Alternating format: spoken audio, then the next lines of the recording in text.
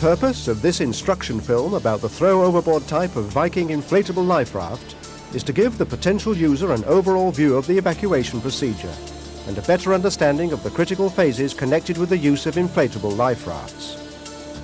In a film of this length, we are not able to look at all the factors involved in a rescue operation at sea. It is therefore important to read the instructional material required by the regulations on all ships, in which it is the duty of each member of the crew to study carefully.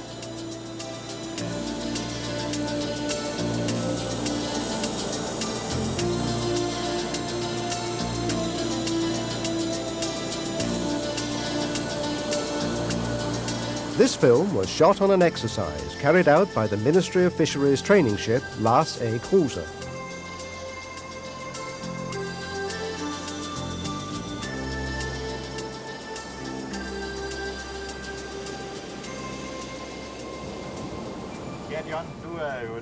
When a new crew member reports for duty, one of the first things that happens is that he is made acquainted with the ship's muster list, which informs each crew member of his role in an emergency situation.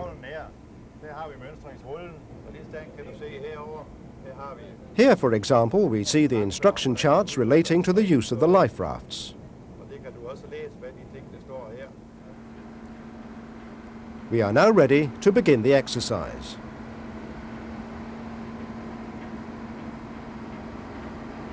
If an emergency arises at sea, the vessel involved sends a distress signal to the nearest coastal radio station using the international emergency frequency. All ships obliged to carry radio also listen on this frequency. The name and position of the vessel and the nature of the emergency are the most important items of information needed to ensure a speedy and effective rescue operation. The majority of the crew, who in this case are gathered in the mess, await instructions from the bridge. Additional information about the situation of the vessel, such as weather, wind and other conditions in the area, can be very important to the rescue operation. The ringing of the alarm bell means that the crew should go to the emergency stations, bringing their life jackets, or in this case, their immersion suits.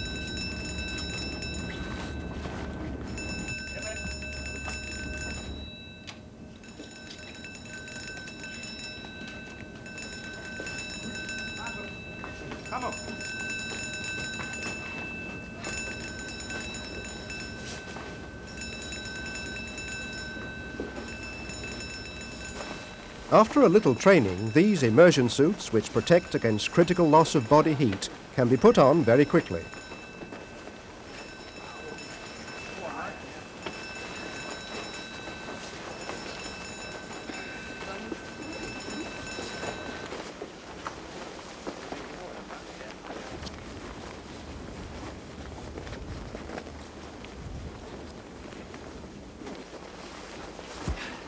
Kom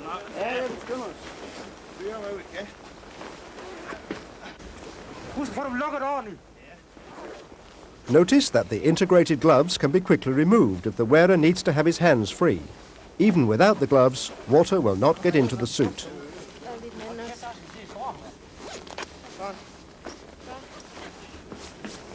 The crew are now on their way to the rescue stations. The ladder, which will later be used to get down to the raft, is here paid out and secured by two members of the crew.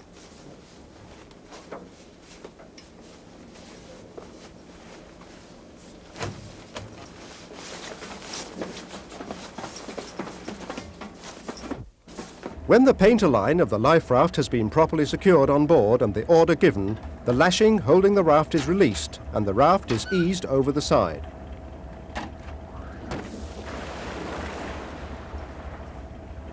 When the remainder of the painter line has been pulled out of the container, the raft is inflated by a firm tug on the line.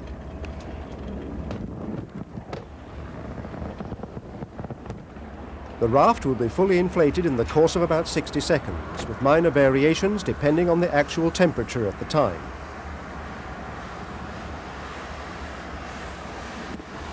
As can be seen here, the raft is equipped with an automatically deployable sea anchor, which is released when the raft is being inflated and therefore contributes to the stability of the raft at an early stage in the launching procedure. The raft is now manoeuvred to the ladder which is already hanging at the side of the ship. The whistling noise we can hear is quite normal and comes from the safety valves on the raft blowing off excess CO2. This always happens in connection with the inflation of a life raft.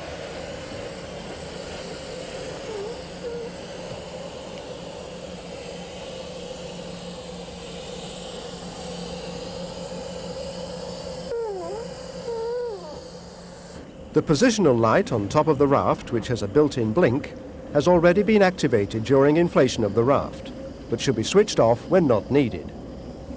The crew now enter the raft with great care. Despite the fact that they are wearing immersion suits, it can often be very difficult to rescue people out of the water under the sort of weather conditions normally encountered in a distress situation at sea.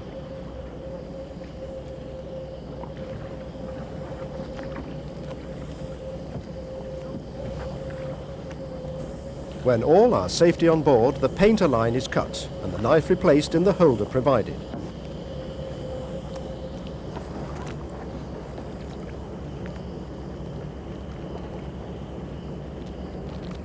It is now a question of getting away from the sinking ship as quickly as possible, using the paddles supplied in the raft. In some situations, it might be advisable to haul in the sea anchor while paddling, if it is difficult to get away from the side of the ship, for example. In a hectic emergency situation, it could happen that some of those on board ship might not manage to get down to the life raft before it is cut adrift. The men we see here are wearing their immersion suits and have therefore greatly increased their chances of survival. The crew in the life raft are well aware of the importance of keeping a sharp lookout for survivors in this phase of the operation, and have in fact already spotted the two men left behind on the sinking ship. The light on the immersion suit should of course be switched on if visibility is low. To the survival suit is also attached a so-called buddy line, so that several survivors can link themselves together in the water. This can be especially valuable if an exhausted person has to be towed along in the water.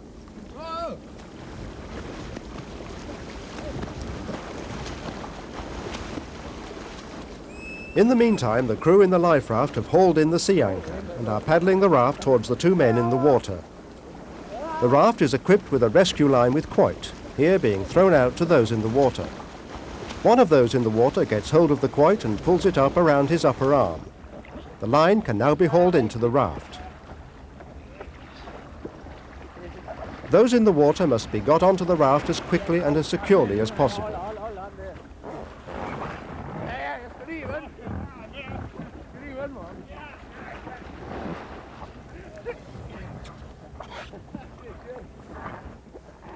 The sea anchor is now deployed again to stabilize the raft and minimize drift away from the position of the wreck. The entrance to the raft is closed and a lookout posted.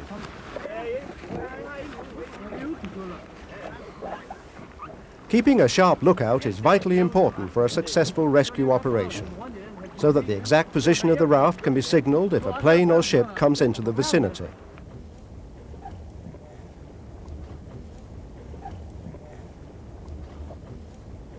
As a result of the distress signal sent out by the ship, the rescue services are getting on with the most important part of a rescue operation, picking up survivors. Helicopters like this one have for many years played a central role in rescue operations at sea, partly because of the maneuverability of helicopters and the use made of modern navigational equipment, but also, and by no means least, because of the skill of the crew members who pilot the Coastal Rescue Service helicopters.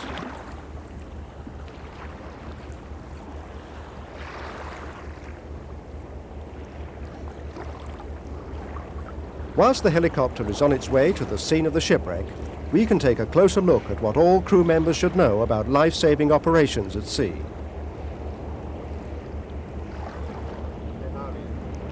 This or a similar instruction chart concerning the operation of the life raft will, as we have said, be included in the compulsory training manuals on the ship. Here, for example, we see an American training manual.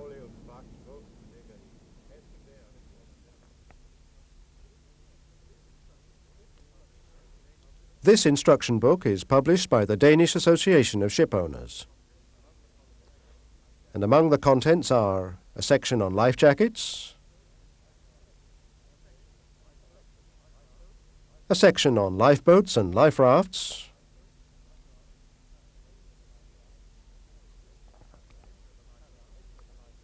how to enter the life raft, what to do if you have to jump overboard wearing a life jacket. Nowadays, approved life rafts ought to be fitted with a hydrostatic release unit. The purpose of this unit is to release the raft if the ship sinks so quickly that there is no time to release it manually.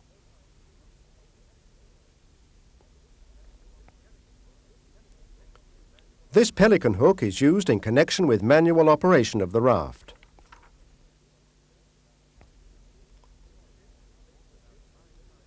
If the ship should sink without allowing time for manual launching, water will enter the release unit through the holes shown here. When the release unit is about 3 metres underwater, it will be activated by water pressure, releasing the raft. The raft container, which is sufficiently buoyant to float to the surface, is now only connected to the ship via the painter line of the raft and the so-called weak link. The weak link is strong enough to release the raft if the water at the scene of the shipwreck is deeper than the length of the painter line, and weak enough in this situation to be snapped as the inflated raft surfaces.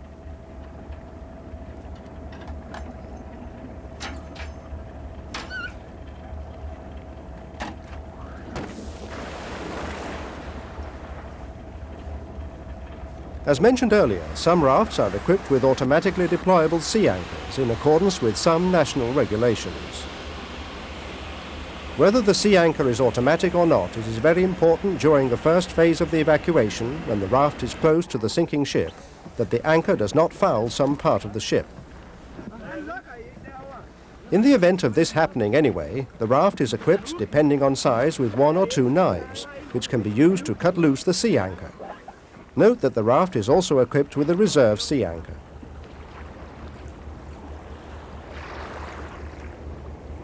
The knife, position shown here, is primarily used to cut the painter line of the raft, that is, the line connecting it to the sinking ship. In order to avoid damage to the raft, the knife should be returned after use to the sheath provided.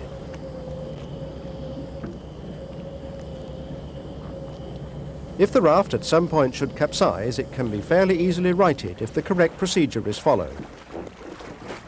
The raft should be climbed onto from the water on the side where the CO2 bottle is placed. By using the rung of the ladder, which is about 40 centimetres under the surface, and getting hold of the right link strap, you can haul yourself onto the upturned raft. The raft is righted by standing on the cylinder bag, heaving on the line and leaning backwards. The raft can be much more easily righted if it can be turned into the wind. After righting, the raft is best entered on the side where the boarding ramp is situated. Other people who might be in the water in the vicinity of the raft should be helped on board.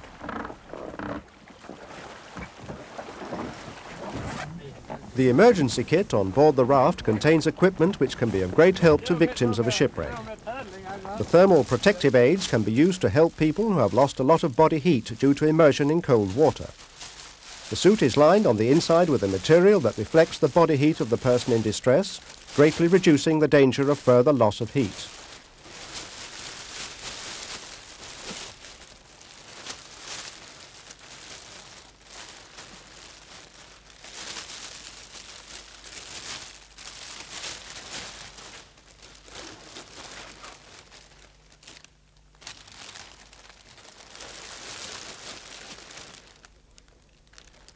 Seasick tablets should be taken as soon as possible because those on board a life raft will almost without exception suffer from seasickness, with a consequent loss of natural reactions and powers of judgment. The signalling equipment available in the raft, so vital for the final stages of a rescue operation, is as follows. Parachute rockets. Hand flares. Smoke signals. Signaling mirror. Signaling lamp. And a signaling whistle. Instructions for the use of this signaling equipment are found on board the raft, as well as in the general instruction manuals on the ship.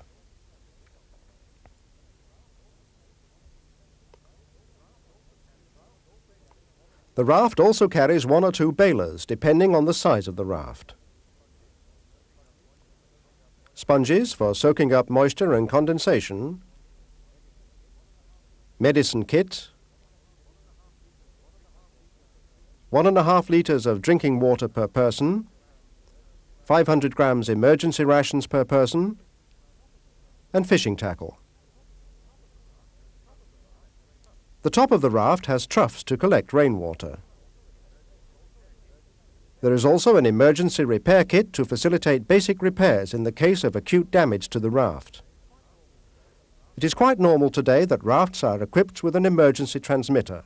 Instructions for use are of course also included, no matter what the make of the transmitter.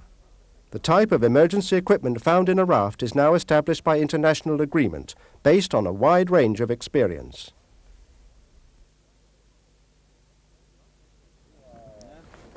The raft is fitted with a double floor, which can be inflated by using the bellows provided in the raft, something which has unfortunately often been forgotten in connection with shipwrecks over the last few years. We would like to make the point very clear. An inflated double floor offering greater insulation under the majority of sea conditions will make a stay in the raft a much more comfortable experience. Now back to the rescue action at sea. The lookout in the raft has heard the rotor noise of the helicopter and it is now vitally important to signal the position of the raft. This can be done, as here, by firing a parachute rocket.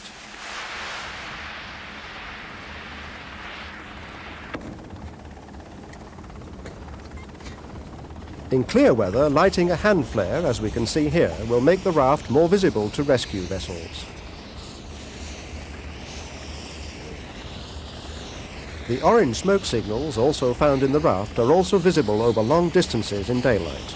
In addition, they are a great help to a rescue helicopter trying to determine the best angle of approach to the raft. When the rescue helicopter approaches the raft ready to lift off survivors, the roof of the raft should be pressed flat, best achieved as seen here by climbing onto it. In some cases, it might help to let the air out of the arch tube. Here, the helicopter crew chooses to use a single lift to rescue the survivors. To avoid an unpleasant shock from static electricity, it is best to let the harness and lifting wire touch the water before getting hold of the harness from the raft. A diagram on the harness shows how it should be lowered over the head and under the armpits. Then the adjustable breast strap should be tightened. Hold on to this strap or let your arms hang down by your sides during the lift. Don't hold on higher up the harness, as this man is doing here, as there is in this case a risk of sliding out of the harness.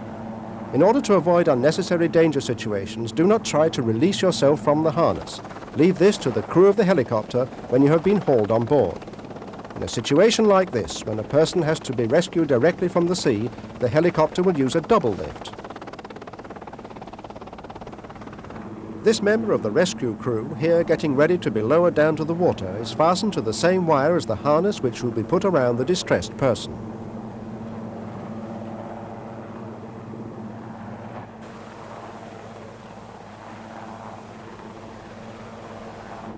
A double lift will generally be used where at all possible, as this method, because of the experience of the rescue personnel, is the safest and quickest.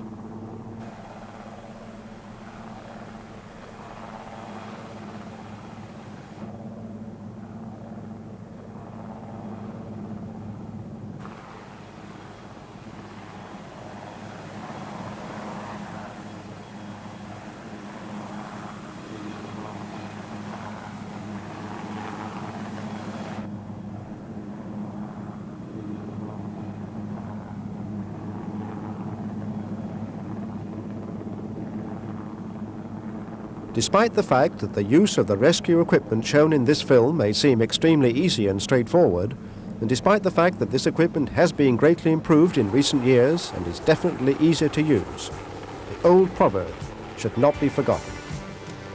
The sea is a good servant, but a harsh taskmaster. So be prepared, and study the material found on board your ship relating to the all-important subject of safety at sea.